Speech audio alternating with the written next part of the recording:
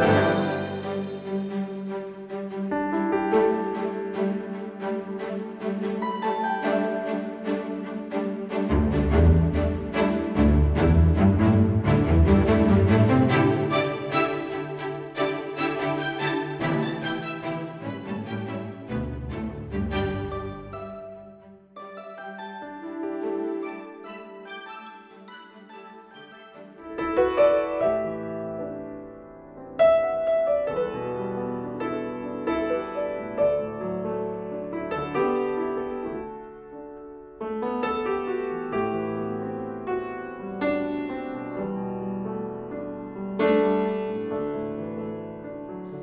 Of course, this is the celebration of 15 years of In Christ Alone, and uh, yeah, 15 years is quite a long time. I feel like you know I've written a lot of songs since then, and definitely In Christ Alone was was kind of setting me on a particular journey. But it's been great, uh, wonderful, really, to see how the song has got into different places, how it's become established, and how helpful I suppose it's been. I remember for a number of years being really discontented and really concerned about what was happening in church music, and um, certainly in my generation. And I remember one Sunday, I remember the seat I was sitting on in a church in Belfast, and I heard a song called How Deep the Father's Love. And I thought, now that is the kind of thing I would love to write. So we got together, we had a coffee, nothing particularly, you know, eventful happened. He said he'd send me a CD with some of his ideas, song ideas.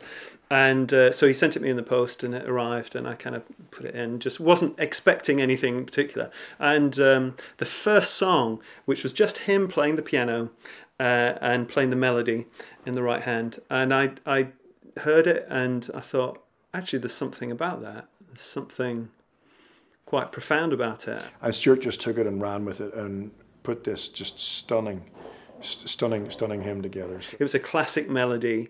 It, since it, it had that sort of eternal, kind of enduring aspect.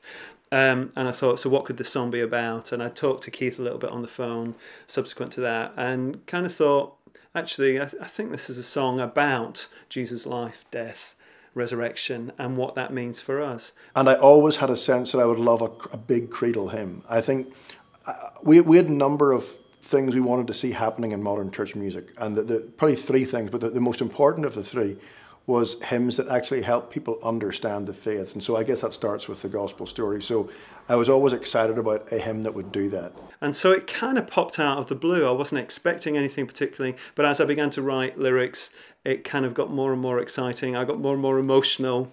Um, uh, you know, as began to kind of just try and put into words what it means for Christ to have gone through what he went through, what that means for me as a person, and how that completely changes my life. And uh, so it kind of popped up and and um, sent the lyrics to to Keith, and uh, he liked them, and it kind of just went from there. So we, we changed a couple of things. The first line was originally "My hope is found in Christ alone," and we switched, switched that round and um, a couple of small little edits, but it was it, it, it was a stunning lyric, and and, um, and that was the beginning of our career. I'd written the the lyrics um, and uh, sent them off to, to Keith, and Keith made some comments which were really helpful. One of the comments he made, which I think shows his sensibility as far as lyric writing, even though he's known as a melody writer, his sensibility as a, as a lyric writer was that the first line originally said, um, My hope is found in Christ alone.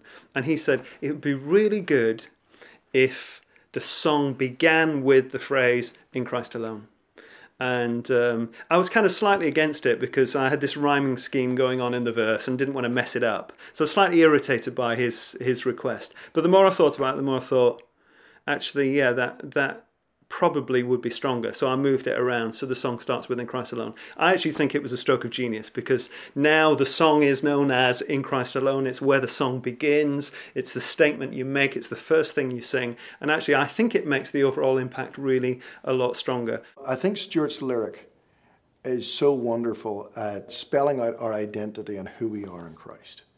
Um, but, but starting with Christ but I think as well, in terms of going in a more hymn-like direction, um, it's been amazing to see how actually a hymn can actually go much broader into the church than a contemporary song. When I first started talking to people who were trying to write modern hymns for churches in the year 2000, no one would listen. Almost no one, I should say, would listen.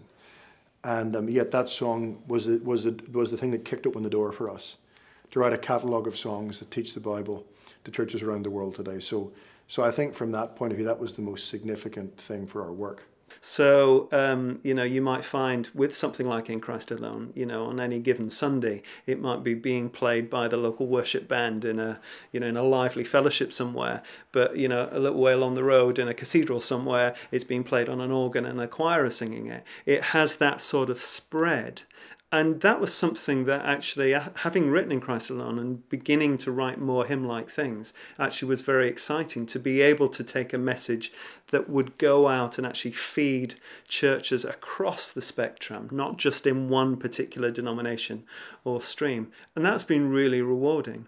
And it kind of, the songs somehow draw the church together, which I, am really excited about and I think is really pleasing to God and honouring to God to see the church coming together in that way. Christ Alone has definitely produced more feedback in terms of people writing, emailing, or me talking to people at the end of concerts or worship events uh, than all the other songs I've written put together. There is something that has happened with that song. And um, it, it, genuinely, I know people always say it's very humbling, but it really is very humbling uh, to hear some of the, the stories that people um, tell me about, write about, or talk about face to face. You know, uh, there is something I think that encapsulate partic- encapsulates particularly in perhaps times of crisis in people's lives. It's it's something that gives them a sense of hope and solidity that is in the gospel message that actually we somehow managed to get somewhere, you know, actually managed to say somehow in the song. It's, it's hearing congregations sing it. It's hearing a congregation of 90 people with sort of an incompetent keyboard player, and yet people just loving singing it. I think that's that's that's when you step back as somebody who writes for the church, you realize as a Christian, you know, give up your small ambitions of of of of, of writing number one, you know, chart hits and write for God's people because that's that kingdom um, is far greater than any kingdom you could build on earth. I sometimes hear um, people in churches, particularly leaders, quite often saying what's really important about worship songs is what the words say and that that's the that's the key you know we choose songs based on you know what is being expressed and I, and, and I understand that and I agree with that to some extent but sometimes it kind of comes over as you know the the melody is just a, a, a you know as long as the melody is easy to sing and stuff. It doesn't really matter about the melody. What matters is the words. I actually don't think that's the case with songs. And I don't think that's the case within Christ alone. It's worth noting that actually the lyrics only came about as a result of the melody. I don't think in any art form you can separate out the, the, the, the art forms like two, like two separate chemicals, for example. Um, um, I think, I, um, as, as Stuart, Stuart always says, the music informs the lyric. Um, but I think I think both are both are so curiously important. I found when I listened to that melody that Keith had written, it had an impact on me. The melody already said something, and it was my job to find out and to fill in and to articulate what that melody was hinting at, what it was saying. So one without the other is is, is useless. I do think there's a bigger responsibility on leaders, whether it's pastors and musicians and worship leaders do ensure that the lyrics are helpful. But I, have never looked at it like a corrective. I've looked at it like let's let's create let's let's fill people up with the big picture of God, with the life-saving good news of Jesus' gospel. You know, that's what we're trying to do. And we want to fill people's minds and hearts and emotions. So I feel very much that melody and lyrics are equally powerful in terms of taking us on a journey, both in terms of expressing what our faith is and what our response to that statement of faith is. So I think the two go together, and melody writers are just as valuable in the kingdom of God as lyric writers.